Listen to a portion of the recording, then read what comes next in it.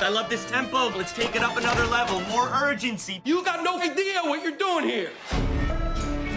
This is a delicate ecosystem, and it's held together by a shared history and love. Chicago, am I right? We want to change this restaurant, right? We have to change the chemistry. Yo, family's up. I just never had plátanos with like grass on it.